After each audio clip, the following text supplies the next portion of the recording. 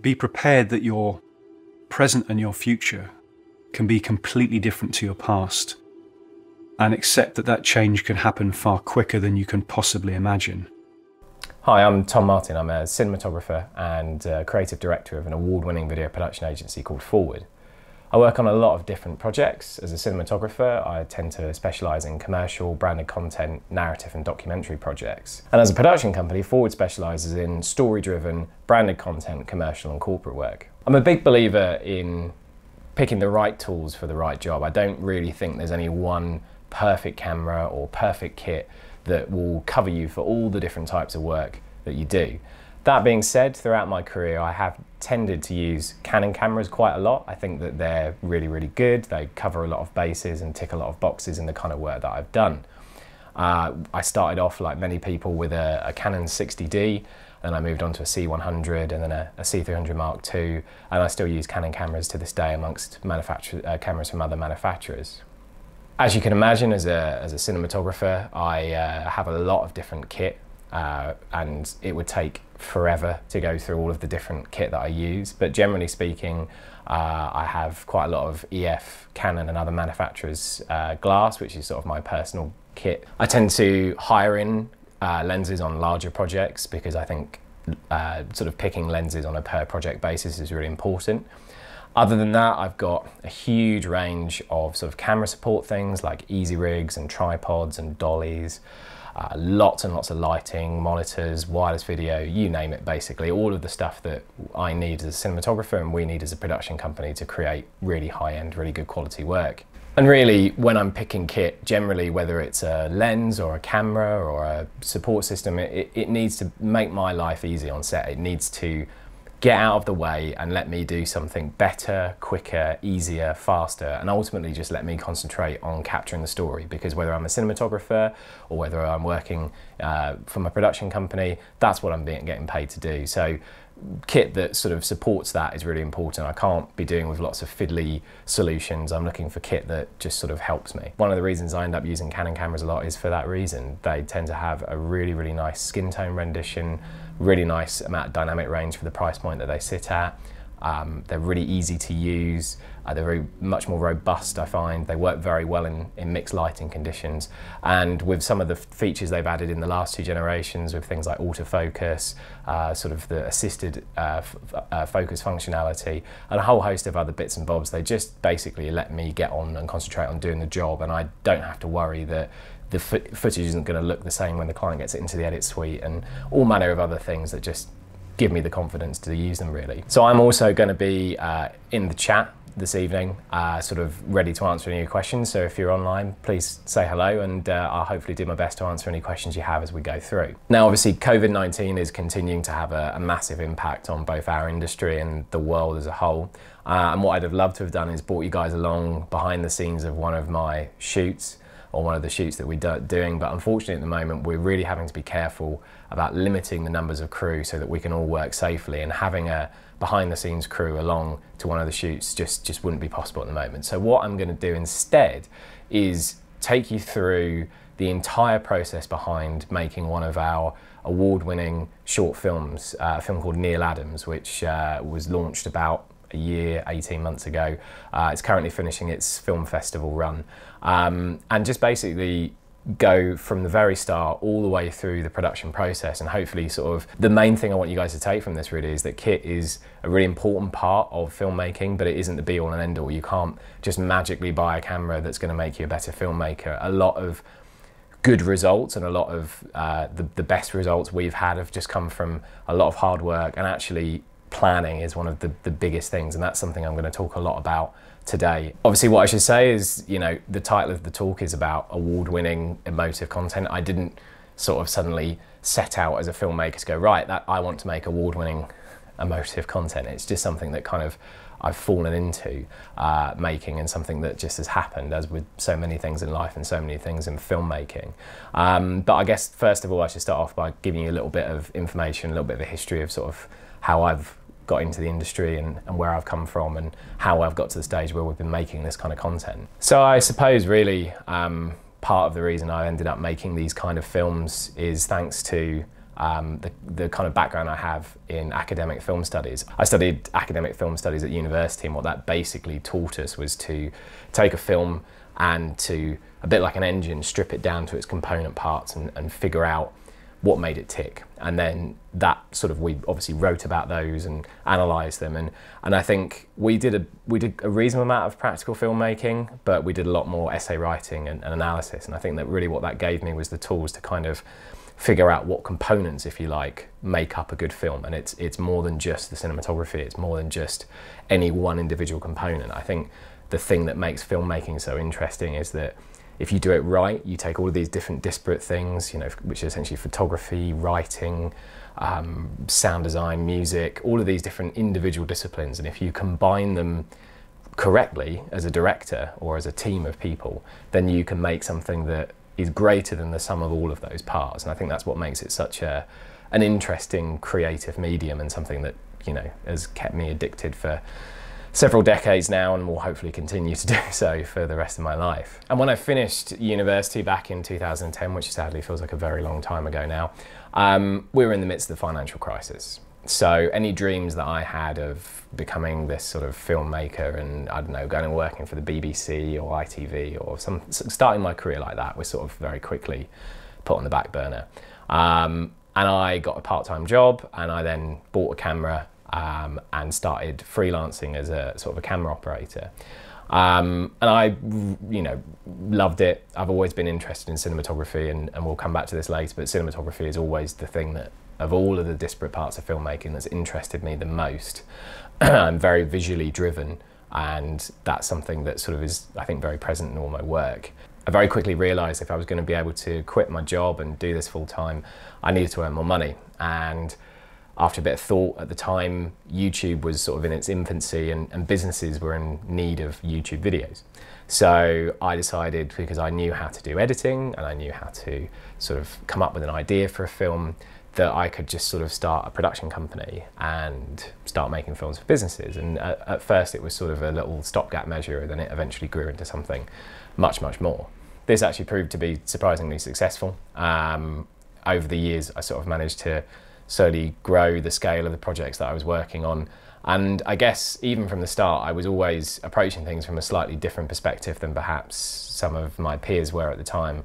I was very much always trying to create something filmic or cinematic, which is a bit of a word that's lost meaning today, really, unfortunately. But it's something that felt not just like a, a sales pitch or a, a, corporate video as you'd know it. So whether that was the way it was shot or the way that it was lit or the, the fact that it actually tried to tell a, a story with a beginning, middle and end rather than just be a bunch of facts read out on an auto cue kind of thing. And, and I always tried to do that from the start. So from the start, I always tried to create corporate films as they were with a bit more of a filmic edge. And, and that wasn't something that a lot of people, I think, were doing at the time. And I on, honestly wasn't always successful at doing it in my early days. There was a lot of facts and a lot of statistics and a lot of auto cues and a lot of people standing in front of roller banners just talking about why people should buy from them. And there wasn't a great deal of emotion or story or anything that kind of felt like a film or felt filmic or cinematic in, a, in any way, shape, or form. So I slowly but surely in my work tried to kind of use the things that I'd learned at university. I, I, did a documentary filmmaking course there, which was really useful in that regard, and tried to inject some of that into my work. So whether it was through the cinematography, as I was learning more about cinematography and how to light things and shoot things and frame things in a way that wasn't just kind of standard and and you know obviously things like DSLRs and the, the, the emergence of large sensor camcorders and getting that look really helped but also more importantly it was about trying to inject a bit of a story. So it wasn't just people talking about themselves or talking about why you should buy from them. It was about maybe refocusing or reframing that idea in, in terms of a narrative with a beginning and a middle and an end, and it making it about more about the people in behind the businesses rather than just what they had to sell. I'm not trying to suggest that I was doing anything particularly groundbreaking. I'm sure there are other many many other people doing that kind of thing, but it also certainly wasn't the done thing at the time, and it certainly wasn't everybody's cup of tea at first. You know, there's I probably won as many jobs as I lost at that point because the style that I was making films in wasn't for for everyone, and and that's sort of I think that's something that carries on to this day, and that's sort of part of having your own sort of style and, and, and, and way of creating things and seeing the world.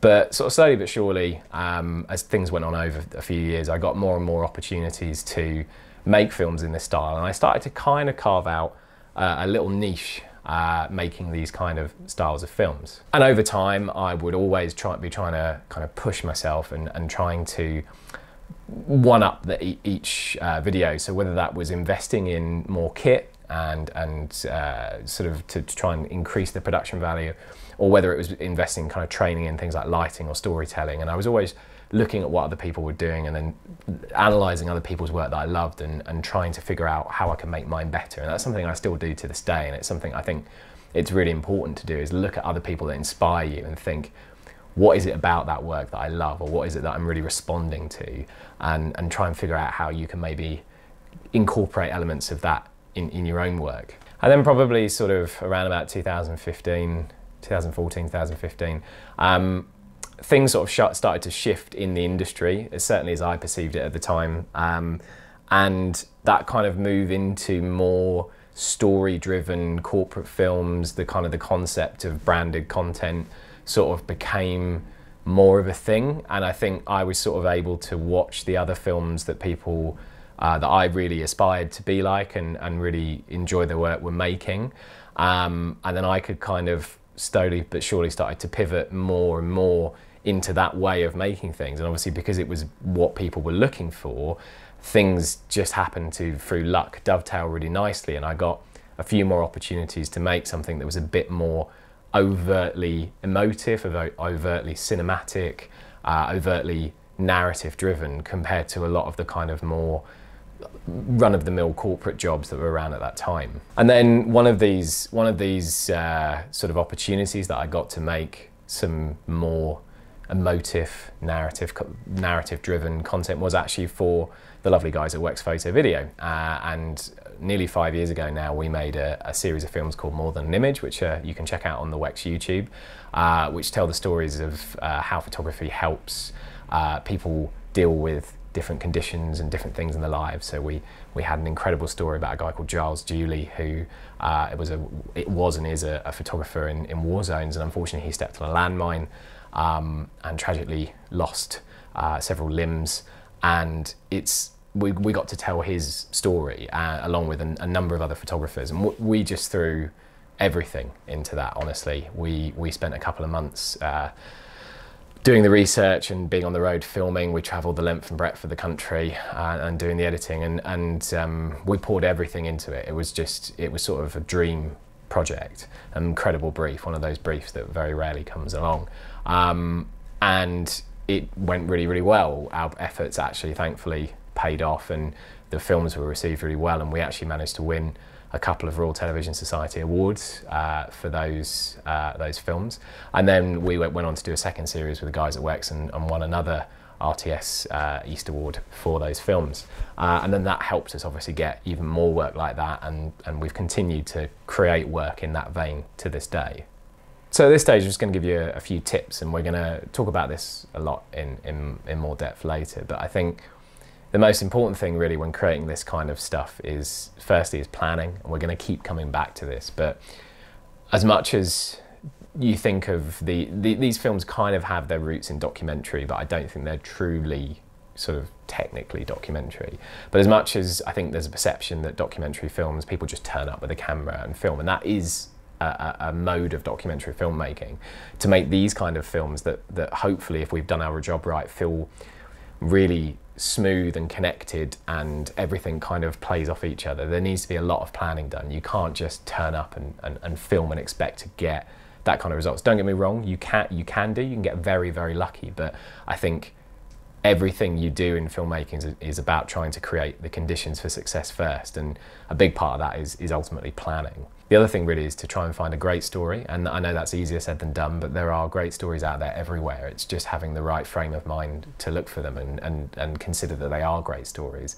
And it's finding that story, but also having a perspective on that story and choosing a perspective. As, as film directors, we anything that's made is always filtered through our own thoughts and feelings and prejudices and, and, and ideas, and it's choosing and developing your own perspective, your own lens on the story, and that's really something that takes practice. But that will that is what will make your work stand out, and, and what will hopefully make your work great.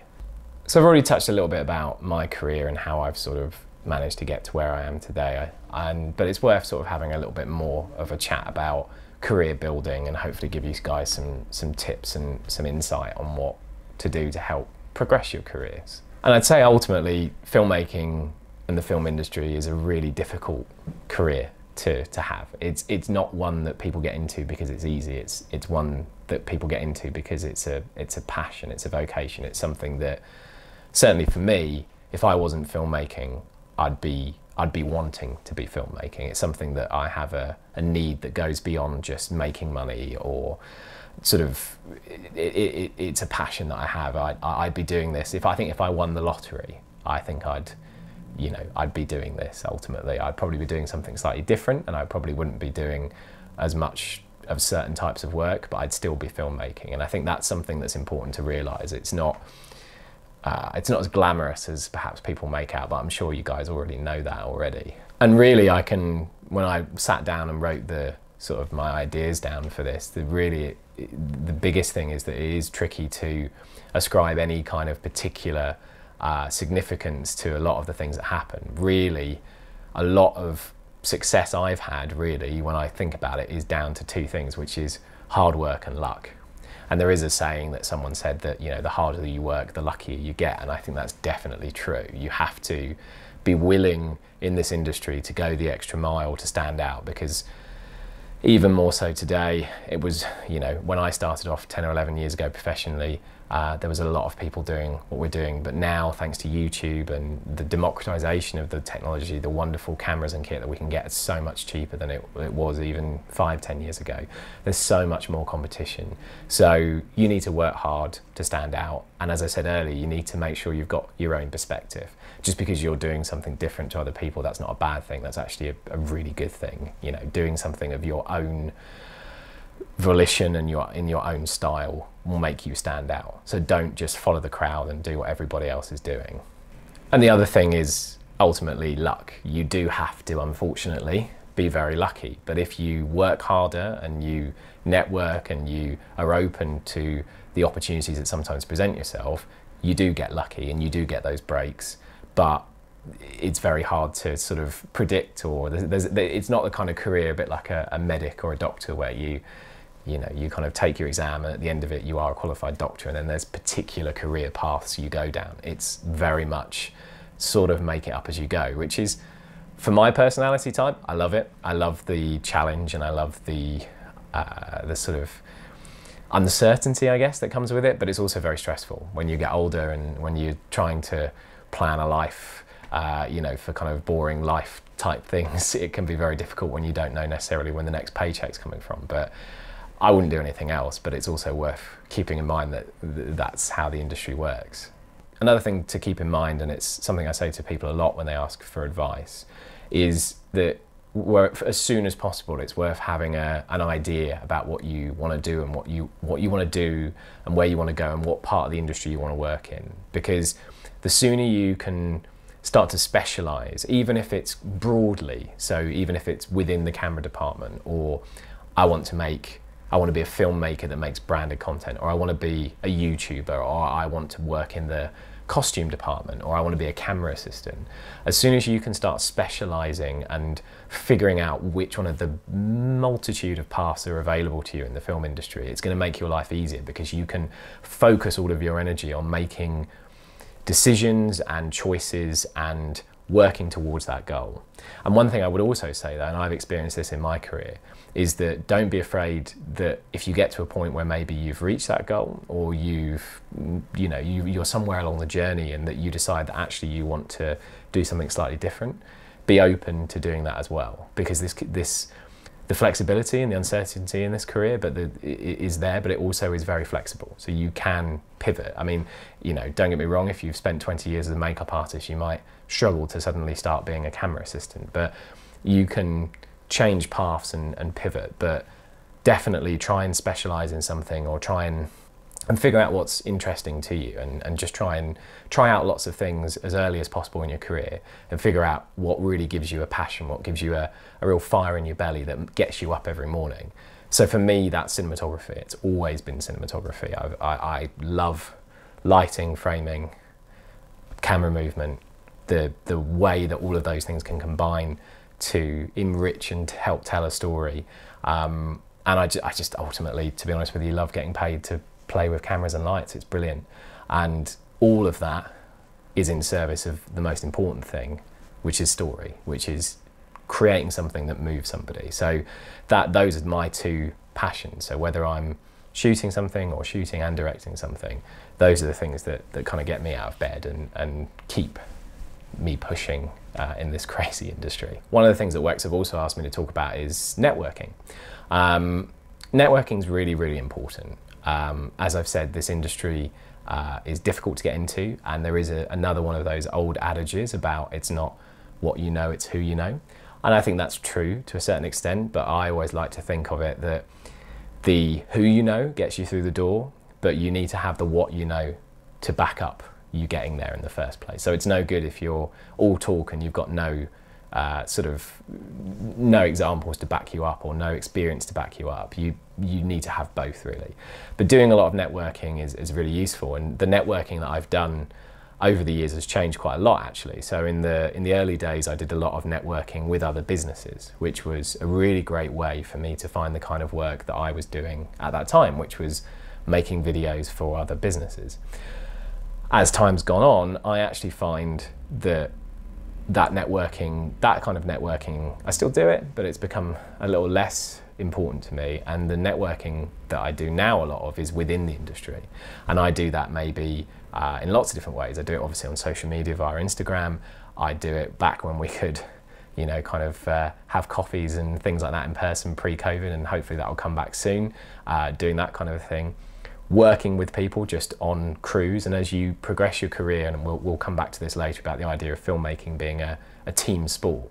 But as you get onto bigger and bigger projects, you'll work with other people and you'll enjoy working with those people. And the people that you meet on those projects can become great friends and collaborators and can get you onto other projects and can help you further your career. And another way that I do that is by working on passion projects, whether they're my own passion projects or other people's passion projects. So I, I shoot a lot of short narrative films, uh, and I have done a lot over the last four to five years.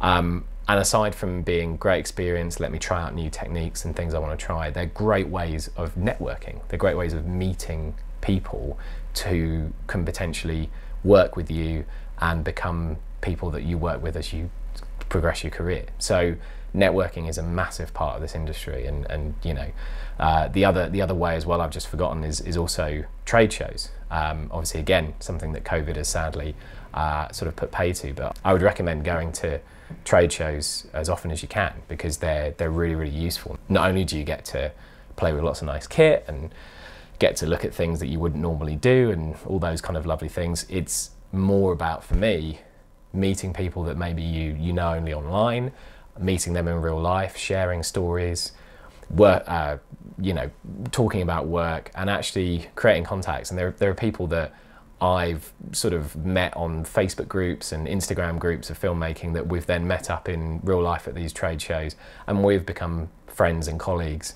And and building your networks around you is really important. It's a it's a really really important thing because you never know when you're going to need that last minute recommendation of a gaffer in some far flung country, and one of your friends knows somebody. So yeah, definitely do some networking. So one of the other things to talk about is sort of working professionally, because I guess a lot, some of you guys might not be at the stage where you're working for professional clients. You just might be making your own projects, maybe for YouTube or something like that. And others, you will be at various stages of your professional career. And I think really, when it comes to working professionally, ultimately the most important thing is making your client happy. And I guess the way to do that is fulfilling your brief. And there's a number of different ways to do that. One of those, and one of the most obvious ways, is to have a clear scope of work set out before you start a project. Having a list of deliverables and having a, a schedule and having a good set of terms and conditions is, is really, really important. And there's a, there's a whole video about managing client expectations and, and all that kind of stuff. But, but basically, make sure that everybody is aligned about what it is you're doing. It's no good, and I've made this mistake in the past in the early days, sort of your client's expectations being something, your expectations being something else. And by the time you end up with a finished video, nobody's really happy, or one of you is and one of you isn't. That's, that's not a good way to work professionally, and it's not a good way to make sure you get lots of work in the future. One of the best ways to make sure you and your clients are on the same page is just as early as possible making sure you're asking the right questions. So asking them what does success look like for them, asking them what, what they want people to feel and think and do after they've seen the video that you're making for them. And just basically taking the time before you even think about picking up a camera to make sure that everybody's ideas on the project are aligned.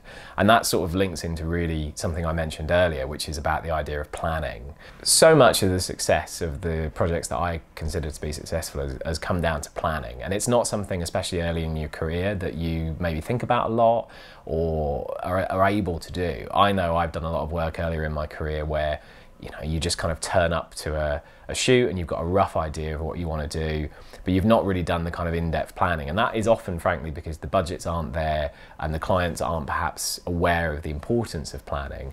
But it's something that really needs to be done. And i think that i can very much trace the success and growth of my career as i've been able to convince clients to allow me and have more time for planning. And also I, as I slowly but surely realised the vital importance of planning to creating a, a great film. And I, and I guess one of the things you, you think is that, you know, how do I get clients to pay for the planning time that I need to make something great? And the way that I've been successful doing it, it might not work for everyone, is you couch it in terms of it being a money saver because the time and the money spent in pre-production is nine and a half times out of ten cheaper than the time and money spent on set especially as your productions grow and things scale you are literally burning money by the second on a set. So if you've got loads of expensive cameras, loads of expensive crew and equipment on a set, you've got maybe 20 people, you've you know you've got to feed them all. You are burning money by the second on a set. But if you've taken the time when the pressure isn't on to think about everything you're doing, you will save so much money and you'll, you might be able to do five days work in four. So now we're going to move on to the main part of this masterclass, which is breaking down how we made the award-winning short film Neil Adams. And hopefully, as part of this, you're going to see a lot of what I've touched upon already about networking, about luck, about planning, all of these things coming together in order to make something that we were really, really proud of and went on to win uh, another Royal Television Society East Award, which was really great for everyone involved. Firstly, a, a little bit of sort of the, the, the, origins or the genesis of this project. Um, after we completed the More Than Image films, as a, as a team of filmmakers, we wanted to create something for ourselves that would sort of let us take all of the knowledge and techniques and learning points that we had learnt making the More Than Image films and a couple of other films that we've made and apply them to something a bit a bit bigger, uh, a bit longer, a bit more in depth, a bit more uh, sort of narratively more complex, um, just as really a way to kind of stretch ourselves and make something for us instead of for a client. So we knew we wanted to create another emotive, story-driven, sort of broadly documentary style, but very polished in that kind of cinematic way that I like making films style project. Um, but we didn't know what to make it about. Um, we did know that we wanted it to be a much longer film, around about 10 to 15 minutes. Um, and we wanted to try out some new techniques and some new ideas that we had. Uh, and most importantly, we wanted the, the narrative to be a bit more complex. We wanted to have a few more narrative beats in there and really just stretch ourselves and, and, and sort of see it as a challenge, something we could grow all of our skills and ultimately have something that we could be really proud of at the end. So the first thing really to note is your mention, I've alluded to this earlier, is that as I said as a team and that's something really uh, that's really really important. I think you can absolutely make fantastic work as an individual filmmaker and there are people making incredible pieces of work that are uh, brilliant as, as an individual filmmaker. But one of the things I've learned over the years, and I'm a firm believer in, is that filmmaking is a is a team sport. You exponentially increase the success and the quality of the projects you make as you increase the size of the team, basically. And one of the quickest ways and best ways and easiest ways to level up your work isn't going to be to go and buy some fancy new lens or fancy new camera or new piece of kit. It's going to be to network with people and find collaborators who can bring their skills to elevate your project. So we had a, a, small but capable team for this project. I directed and was cinematographer for the, for the project. We had a fantastic sound recordist on set to make sure that the interview and all of the other audio was recorded in the highest possible quality. I also had a producer with me on set who helped do all of the pre-production and also helped the shoot run smoothly.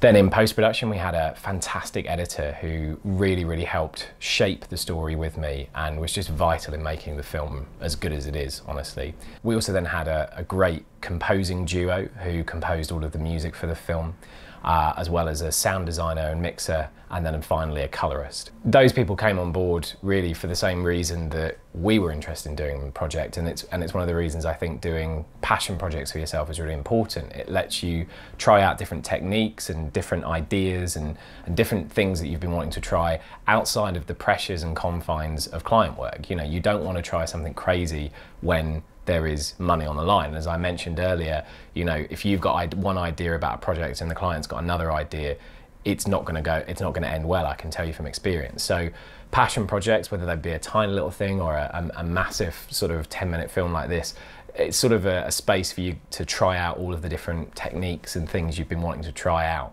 And I also think it's important, especially if you've been doing a lot of work where maybe you haven't being able to try out these things and maybe feeling as creatively fulfilled because you're not ultimately having creative control over the project. It's a great opportunity to do something for you as a creative and, and sort of maybe even remind yourself why it is you, you want to be doing the thing that you're doing because sometimes it can be very easy to lose sight of that especially if you're doing a lot of one type of work or another over a long period of time and I think that's what attracted us to doing the project at the time and what certainly attracted the other people who we managed to get involved over the course of the production process to get involved as well so I'd thoroughly recommend thinking about doing a passion project even a small one when you've got some downtime so as I mentioned planning is vital. It's honestly one of the biggest things you can do to level up your filmmaking work is start to think more in depth before you even think about picking up a camera about how the film is going to be made. And first of all, for this project, we needed to find a story to tell. One of the big differences with uh,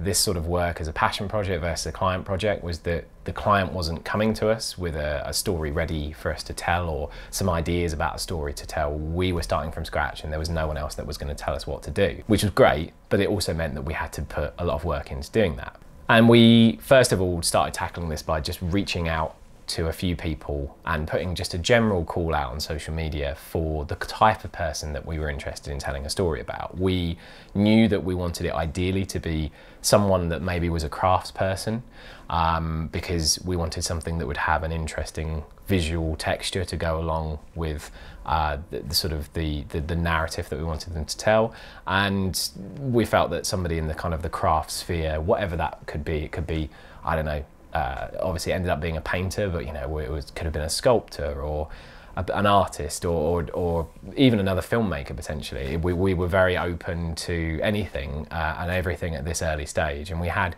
quite a few submissions, but nothing really gelled, nothing really felt like it had the kind of narrative depth that we wanted to kind of mine in this story. It was they were all they were all quite similar to the kind of work we'd done before, and they would have made great sort of two to five minute little kind of uh, profile pieces. But we, we wanted something with a bit more substance to it, and, um, and it was then that some of the networking that I had done over the years sort of came back and and proved to be really useful because I remembered uh, meeting Neil many years prior when he was in one of his other careers uh, as a business coach and a business advisor.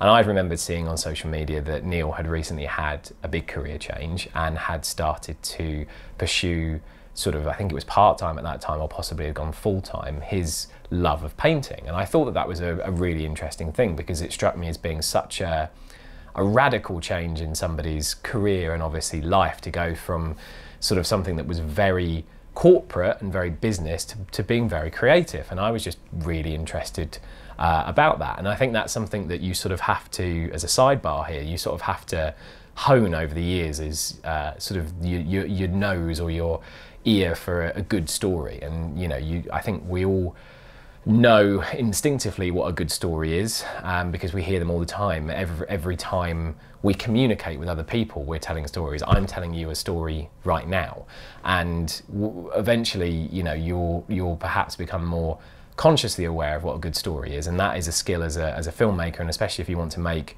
stories about real people uh, and even stories about made up people in terms of narrative. It's it's figuring out what is a good story, and that's something you you sort of need to hone. But we we felt that this was a really interesting story, so then we thought that it was probably worth taking uh, the next step of the process, which is to pick up the phone and have a conversation with him.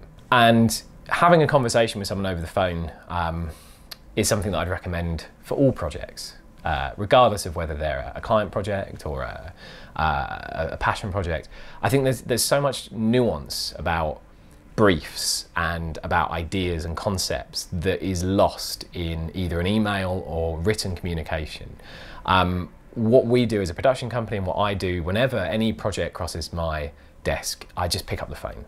Uh, and that might not be something that perhaps uh, some people like doing these days. I know there's a lot of uh, reticence, I think, especially amongst uh, younger people. Not that I'm that old myself, but to, to, to pick up the phone.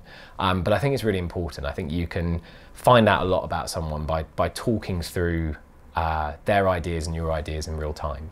And you know whether you, we often pitch it as a discovery call to our clients as a production company. And I think it's really important at that early stage of the project, whether the project's even going to turn out or not, to kind of scope out each other and just to ensure that as I mentioned earlier, your ideas are aligned at an early stage because it might be that your take on something isn't the right fit for this project and a, really good way to figure that out before you spend a lot of time and, and often a lot of heartache because we put a lot of our creative selves into the ideas we come up with for these pitches and proposals it, into something is to, to find out whether you think each other would be a, a good fit for the project. And we had a, a, phone call that lasted quite a long time. I think we were on the phone for about an hour, an hour and a half, and it became really quickly apparent that Neil has this incredible story, like an absolutely incredible story. And we were then got very excited because we realised that we'd sort of stumbled upon one of those lucky things that I said that you know sometimes happens. Um, a really interesting story that we thought had some real depth, that something that would be perfect for the kind of project we wanted to, to tell. So the next stage then was to arrange a meeting in person with Neil. And this next in-person meeting again is something that is I'd really I'd really recommend. At the moment with COVID, obviously that's a really difficult thing to do, and we've had to do a lot of shoots recently where we've not been able to either meet the participant or the contributor in person, or uh, sort of go and look at the location we were filming in, and, and I know that the, the, our work has, has had to suffer because of that. So I'd, I'd really recommend doing it because it, it, it serves two main purposes really. Firstly, it sort of encompasses a, a tech scout and a location recce. So you're turning up and you're looking at the space that you're going to be filming in. And as a cinematographer, that's really important for me because I can start to see and start to think about how I'm going to frame this space, how I'm going to light this space, how much work, uh, how much space I've got to work with in the in, in the in the first place. Is it really cramped space? Is it a huge space? Um, what's it like for sound recording? Uh, is an is an important thing to keep in mind. Um, going back to cinematography, is there natural light? At what times of the days does the natural light sort of come in? You know, how does is is it going to be that you're going to be better off filming on one side of the space in the morning and the other side in the evening because the the light will change as the day goes on. Just basic logistic things like is there parking? How close is the parking? Um, is there a lot of power to plug in lights? Are we going to have to run battery powered lights? All of these logistical questions that mean that you can hone down everything about the shoot, whether how long it's going to take to move from one location to another, to how much kit you should be bringing, to how long you should plan to travel to the location in the morning. All of this stuff is vital to, to gather in that uh, first initial kind of location recce, tech scout, or whatever you want to call it. The second thing for this type of filmmaking that's really important is it lets us have a, another in-depth, in-person sit-down conversation with Neil. And on this occasion, we sat down and we had obviously had some time to mull over the initial uh, sort of ideas and concepts that he had brought to us on the phone call, and we could ask some more guided, pointed questions, and we made copious notes. I seem to remember we actually recorded the interview on our on one of our iPhones, um, and we made lots and lots of notes. And that's vital because, as you'll see later, we use those notes to kind of reverse engineer the questions that we'd end up asking Neil on the shoot day. The final and probably most important thing that meeting someone in person like that does is it starts to build a sense of trust and rapport between you as a filmmaker and the subject of the film ultimately with Neil's film, it's a very personal, very emotive, and hopefully very sensitive portrayal of what is a personal, sensitive, and emotive subject matter. Um, and we wanted to make sure that Neil felt comfortable and trusted us to tell the story in a way that would do it justice. We didn't want him thinking that we were going to make it in a way that was exploitative or not matching his wishes. And I think that's something that really can't be underestimated. You need to have a trusting relationship with your subject and your subject needs to have a trusting relationship with you. And that goes that's the same whether that subject is your client or somebody that your client is employing or anyone that you're making a film about that is being interviewed and it's it's about their real life and their real story, especially if the subject matter is emotive and personal.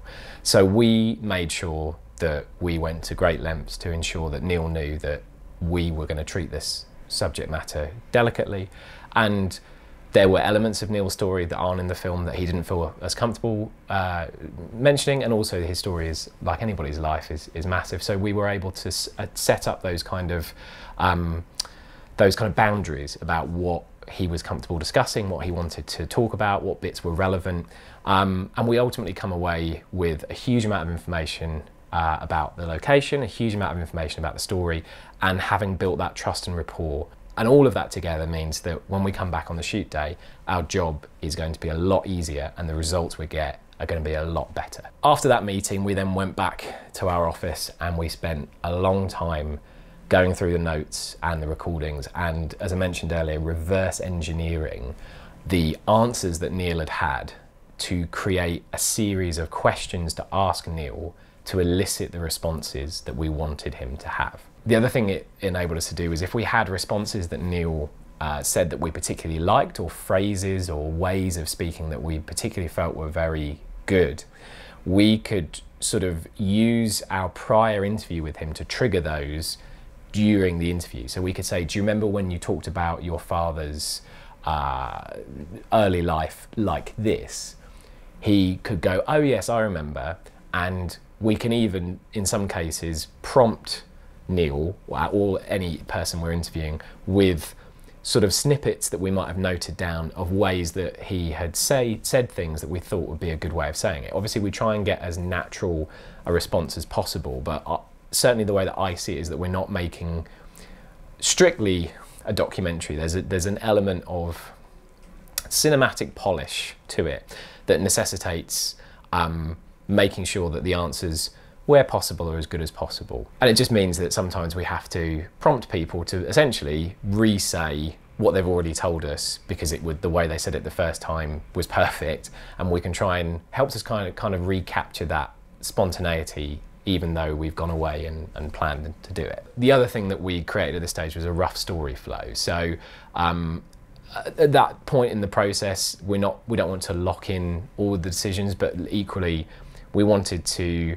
sort of have a rough idea about how all of these questions and the answers that they produce were going to go together. So we sort of, you know, had some key points we wanted to cover, had a rough idea of sort of what in what order the story should be, where we would start Neil's stories off, how we would develop it. We always knew that the death of his father would be sort of the key turning point in the narrative, and it would then that would be what would then pivot the narrative off into a different direction. Um, we also knew that we wanted to end on a hopeful message, um, a message of sort of self improvement and hope and, and change. And obviously, change is one of the big themes in the film.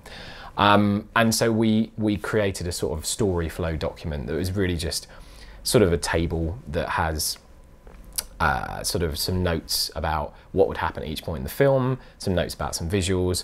Um, we also write down some rough ideas about themes in terms of things like sort of change and the meaning of art and um, lots of other things that the film covers basically. And had those sort of as, an, as another document uh, to use to kind of use as a, a lens to th through which to kind of make all of our decisions through basically. And as a cinematographer obviously as i mentioned i'm a very visually led filmmaker. Cinematography is my kind of primary i guess craft skill within filmmaking. I also started thinking about the visuals. Now i knew that you know, we were going to have a small team, and I knew that we weren't going to be able to uh, sort of, you know, I don't know, have a massive technocrane or all that kind of stuff. And, and actually, the, the story didn't need that. The story is quite an intimate story. It's quite a, a story that lives sort of quite in the detail of the painting and the, the intimate portrayal of, of Neil's life. So I, I, I, sort of, you know, realised that the uh, the equipment that I owned at the time and, and what we'd been using to shoot more than image, which was the C300 Mark II and uh, the sort of Canon EF lenses and an Easyrig, um, they, they would be perfect. That that sort of semi-documentary style uh, sort of way of shooting would be perfect for the kind of the space that we were filming in. I also wanted to kind of try and inject some of Neil's artwork into the visuals. So I wanted to try and frame things in a, in a kind of painterly way and light things in a painterly way and try and sort of mirror the subject matter within the visuals. So that was something else that I spent some time thinking about, looking at references, thinking about ways that I wanted to, to frame and shoot the, uh, the, the film. And again, I had sort of some notes to myself that I produced before we went and shot. So as you can see, there's a huge amount of thought and planning that goes into uh, making a film like this even before we've picked up a camera, even before, honestly, we've even thought about how it was going to be filmed. Well, you know, there's you have to establish the story, establish the style, establish the themes, establish the narrative, figure all of that stuff out really before thinking about how you might capture the film. And that I think is basically why the film is so successful um, is because we had the time to do that because we because it was a passion project in particular, but e equally if it hadn't been and we'd been commissioned to make a project like this, we'd have ensured that as part of the budget, we'd planned the several days worth of work that went into planning a project of this scale. So moving on to a bit more about the, the kit and the, the techniques used. As I mentioned, we'd be shooting in a sort of documentary style uh, with a very small crew. Um, and I'd had great success using the Canon C300 Mark II for that kind of work. It was also the camera that I owned at the time. And so it just it made perfect sense to to shoot with that camera. And I, and I do think that the C300 Mark II and its successor, the, the Mark III, they're really, really ideal cameras for this kind of work. They combine a lot of features that mean that they are very well placed. They've got great color, they have that lovely autofocus, which can be a real help in those kind of fast documentary style settings. They're well built, they're compact, they're not particularly power hungry. So they're, they're really great cameras for this kind of work. Um, in terms of other equipment to use, as I mentioned, I shoot on a mixture of Canon and other manufacturers' EF mount glass with the C300 Mark II. Um, I like to shoot a lot with an easy rig, and regardless of the, the camera I use, uh, I, I shoot a lot with it because I think it helps in lots of different ways. It, it means you can shoot at lots of different levels very quickly. You can shoot at shoulder level, but you can also shoot at hip level. Uh, and you can move between those two heights very quickly and reframe very, very quickly. It has a sort of feel of handheld. Um, I'd still think if you want handheld, you should put the camera on your shoulder. There's nothing that's going to quite replicate that. But it has the feeling of handheld without being anywhere near as fatiguing on your body over a long period of time in particular, uh, especially if you're doing long shoots. Um, it also kind of, it actually has its own creative look of its own. It, it sort of adds a sort of sense of float to the image that feels stable enough that it's not shaky, but feels natural enough that it, it almost could feel like a human observer. And it's, it's something that I enjoy a lot and feature a lot in my work. I, I just really like shooting with those. So that was one of the primary sort of camera movement tools that we used. Um, I was also keen, as I mentioned, to include some more sort of staged painterly style shots. Um, so obviously a tripod, uh, just good old tripod uh, was used for that. And then also a, a, small slider just to inject a little bit of movement into some of the uh, sort of more static, not handheld shots. One of the things I did, which I, I like to do a lot, is um, use some filtration uh, in, in the matte box. Uh, in particular, I, I, like using, as a lot of people do, um, Pro Mist and Black Pro Mist filters, which are um, diffusion filters basically, and they uh, they basically just help to take the edge off of a digital image. They sort of slightly soften um, the image ever so slightly, but they still maintain detail. Uh, and they also help to kind of bloom the highlights uh, of an image. Um, and I often, I use them in, whenever I can really just to give images a little bit more of a, a filmic edge. And I, I, do like to try and bake as much of a look into the camera, uh, into the footage as possible. So I like to use filters and lighting on set to do that rather than rely on doing it all in the grade. Sort of unusually for documentaries, we framed in 239 to 1, which is sort of widescreen cinemascope aspect. Um, I just really enjoy shooting in that aspect ratio. I think it just, to me, always says cinema. And I think it also kind of helps to kind of market as not being just a documentary, just a documentary, but like a lot of documentaries are in sort of full frame, 16 by 9, and I, I like to try and craft something that kind of has the signifiers of, of cinema uh, in it and perhaps more of a, a, of a sort of feature documentary or narrative documentary look. So that was sort of one thing that we did. So we captured in uh, UHD in 25 frames a second because uh, obviously we're shooting the UK. I, if we were shooting a narrative project, I might have shot at 24, but given that we were going to be shooting in places with lots of uh, practical lighting fixtures that we can control, I didn't want to uh, sort of get involved with flicker and the risk of that. So I just stuck to 25, which is the standard frame rate over here in the UK. Um, in terms of uh, other camera settings, uh, we shot in Canon Log 2 in the Canon Cinema Gamut and uh, with the production color matrix because I find that obviously Canon Log 2 lets you uh, maximize the amount of dynamic range that you can capture and I knew that there was going to be a lot of sequences where we weren't going to be able to control all of the lighting in the scene. For example, when we're shooting outside on the beach, or um, sort of if we, if we, had practicals in in, in set, uh, as well as sort of dark scenes, I wanted to maximise the amount of dynamic range that we could capture. Um, and obviously, similarly with the cinema gamut, maximise the amount of information and colour information we captured, uh, which would be important later in the grade.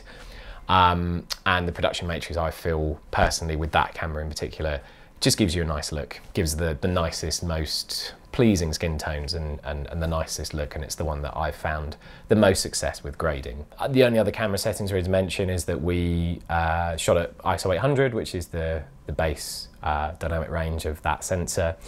Some of the scenes in the dark we rated, or I rated it at 400, which um, helps you have cleaner black levels, but it does shift the exposure index down, so you do lose a little bit of dynamic range in the highlights, but given the dynamic range of the scene as a whole, it was worth shifting it down in some of those darker scenes to kind of make sure that the, the noise levels were minimized.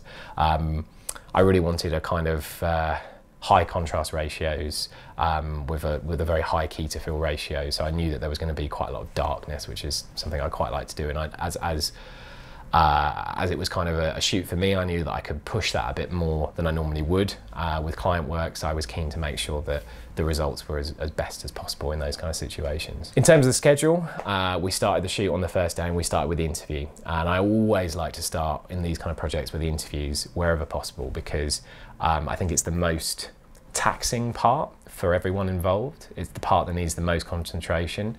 And I think it's best to get both the participant and you as an interviewer um, to be as fresh as possible. And it also means that if something really interesting comes up in the interview, maybe uh, something that would inform the kind of B-roll that you'd like to shoot, which is the, the other footage that you shoot, um, then you you know that straight up rather than if you shot a load of b-roll and then obviously you've planned but you can never fully take everything into account the subject might come up with something really interesting um, and you want to be able to capture that if, if needs be uh, and what i'd say is you know obviously do all the planning but be prepared to go off script if necessary part of being a good interviewer is listening and actively uh, being sort of part of a conversation with your subject.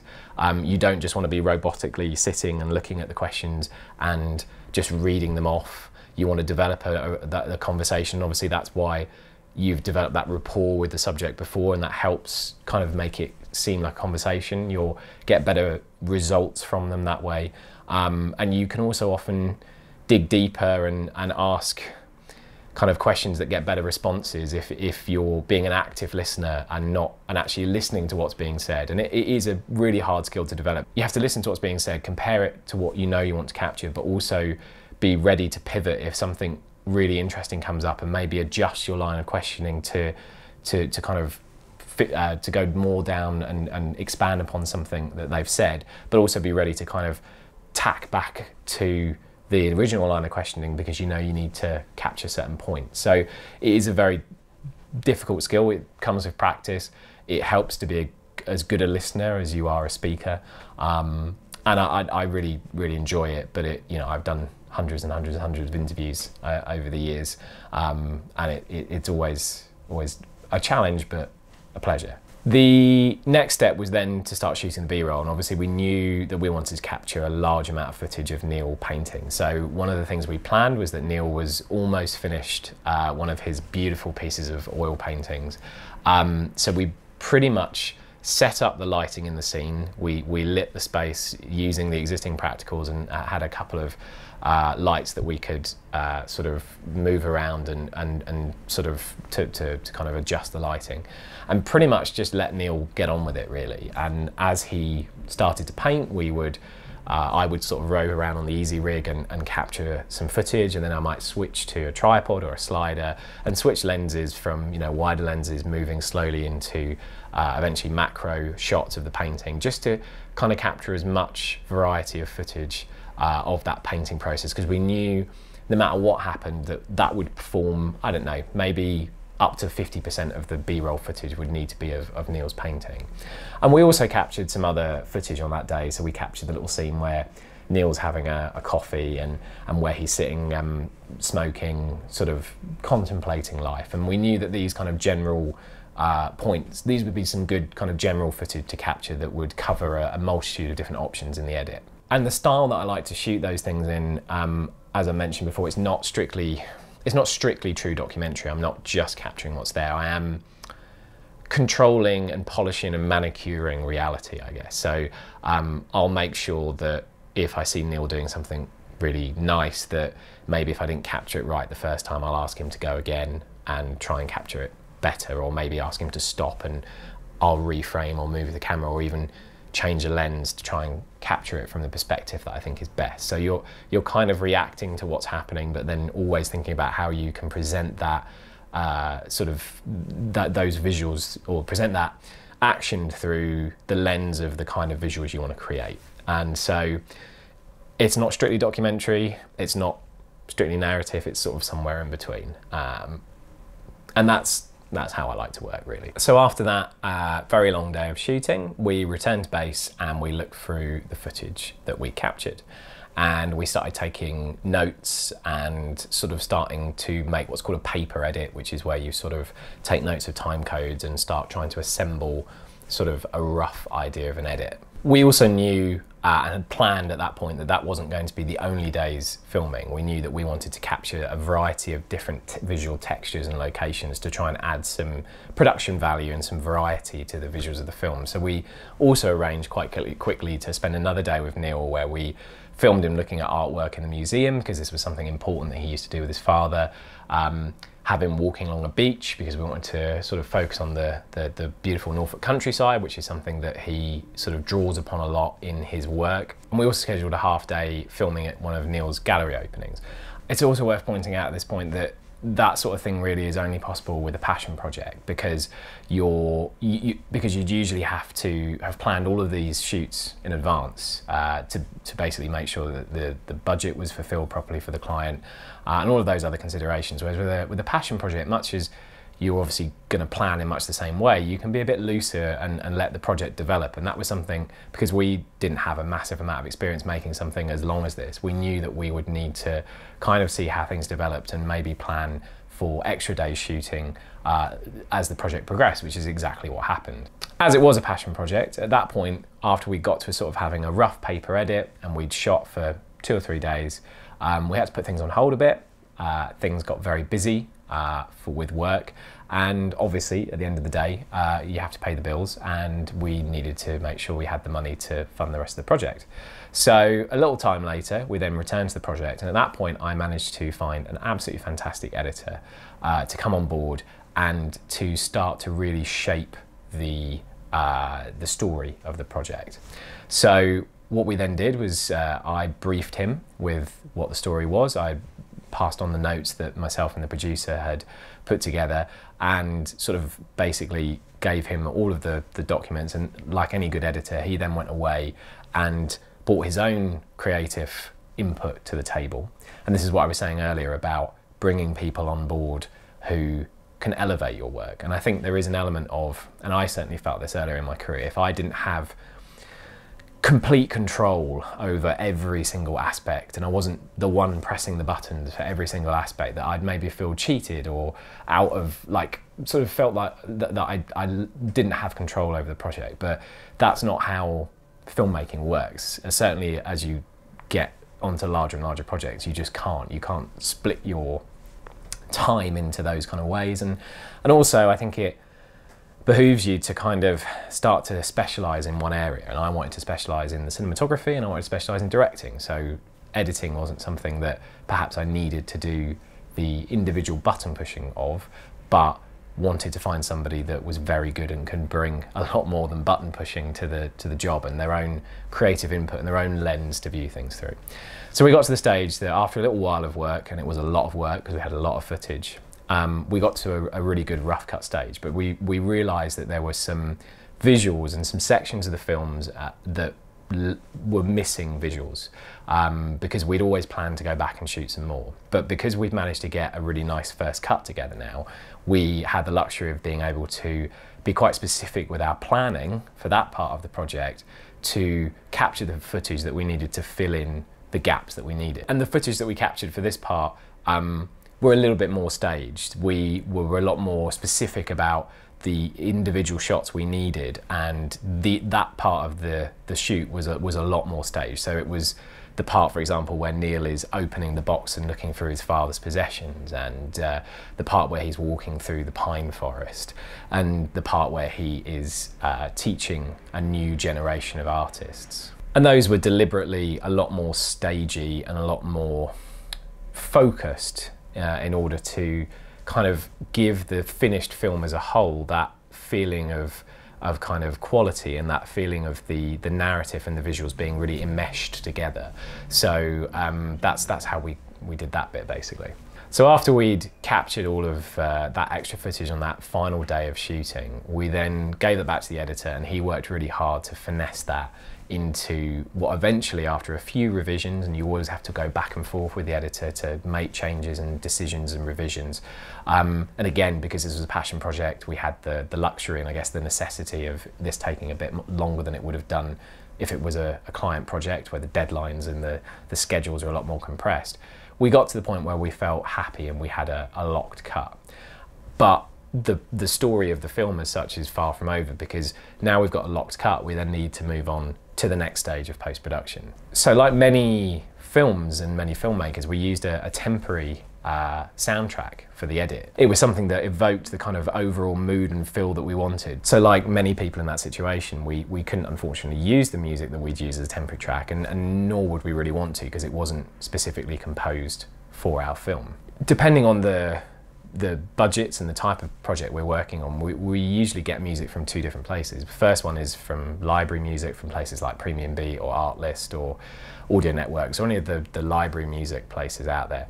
And the second route is through bespoke composition. And for a lot of projects, that's too much money. Um, it is not as cheap as going to somewhere like a, like a, a library service. But uh, the advantages it brings with something that's as, as long and complex and, and, nar- and narratively complex as this project is that it enables you to have complete control over every second of the music. And you can use that as a, I often think of it as a literal kind of series of dials and sliders to, at every, any given second of the film, dial up or down a certain element of the audience's perception of something or the audience's emotion of something. And, and ultimately, you're not doing what you have to do with library music, which is you have to make your edit fit the library music or try and edit the library music to fit. And it sort of you sort of are kind of trying to sometimes force a, a, round peg into a square hole. With a music composition you can have something that is like a tailored suit. It's perfectly cut and measured for every at every single point in that film so we we knew that that's what we wanted for this film because we knew that it, it needed that um, and we were incredibly lucky to because we had the rough cut ready and uh, that is a really useful calling card at that point. Through some more networking that I'd done, I was introduced to a, a really fantastic composing duo who uh, came and worked on the project with us.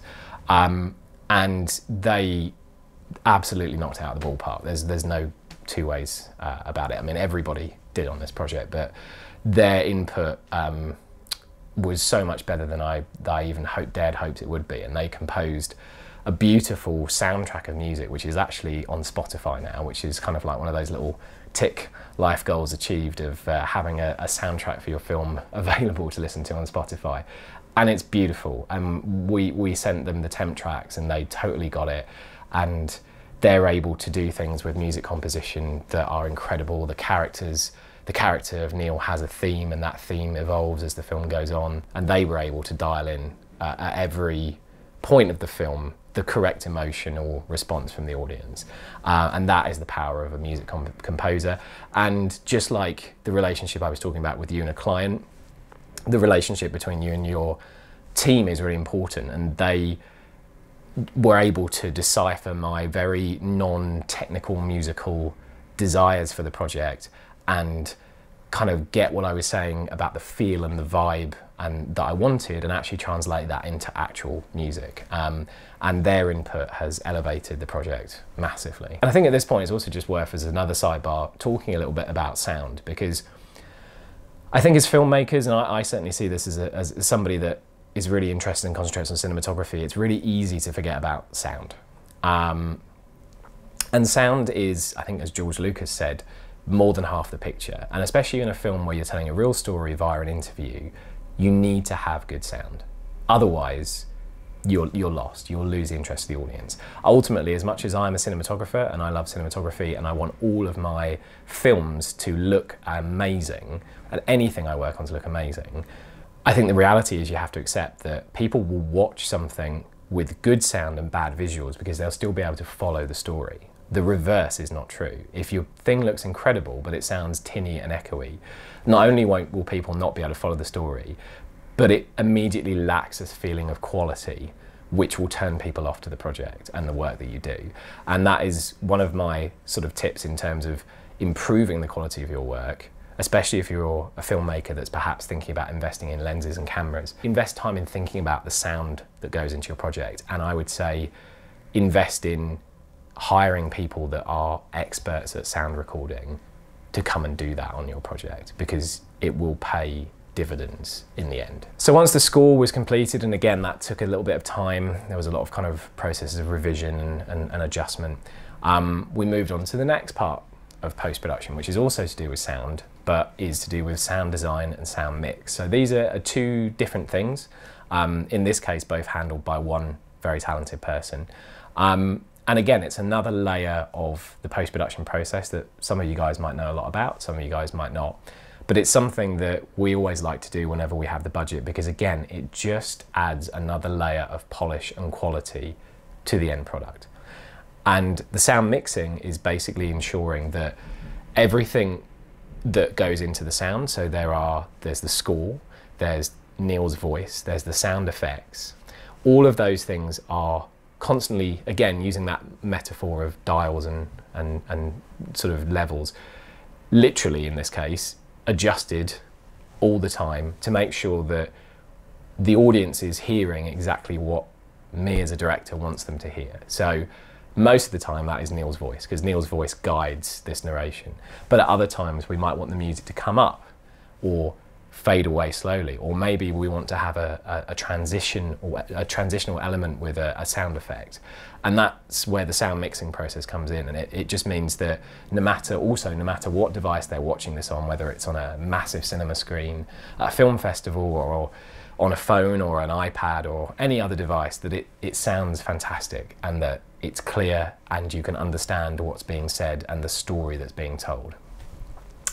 The sound design process is, is linked to that and is done at the same time, whereby we obviously captured a huge amount of sound um, during the shoot, but then you can often add to uh, the, the film by using what's called Foley, which is sort of sounds that are, that are recorded specifically uh, for, for this film. So like, for example, um, the part where the, the cork pops off the lid of turpentine oil and there's sort of the sound of like a rushing sound as we transition into the uh, into the forest, and then the, the sound and the feeling of a pine forest. Those were all designed and added in in post from a combination of sort of things that the sound designers already recorded and specific things that they would have uh, recorded for this for this project.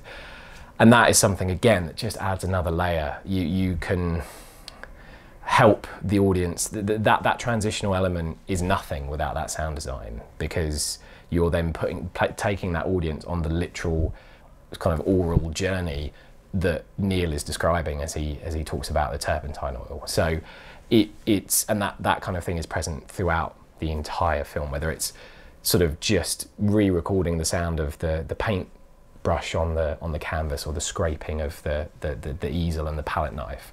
Um, it's making sure all of those things, if we want them to be featured and focused, are are there. So that's another process that happens. And then finally, once all of the the audio is locked, um, and that's all done and the edit is, is locked, the final thing that happened on our project was the color grade. And again, um, that's something that some of you guys may or may not do or know a bit about. Um, but it's something that we like to do for all of our projects, unless they're very quick turnaround. Um, and in, even on the quick turnaround ones, there's always a little bit of tweaking of levels and white balancing and all that kind of stuff. And similar to uh, the audio stuff that I've just talked about, there's, there's two kind of sides of it. There's color correction, and there's color grading. Color correction is sort of adjusting things to make sure that everything is normalized, that there aren't any kind of wild white balance shifts or exposure fluctuations or anything like that. It's, it's kind of a technical corrective pass. The color grade is more about creating a, a, a, a creative artistic look and feel. So I was very lucky uh, using the kind of networking and the contacts that I developed, as I mentioned earlier, to actually have the to actually have the film graded at um, one of the big Soho-based London post-production houses called Molinare. Uh, I was very lucky to have it graded in one of the suites that they actually used to grade, among other things, the uh, last two series of The Crown, for example. Um, and again, this is where having a team and having more people involved can just help elevate the work.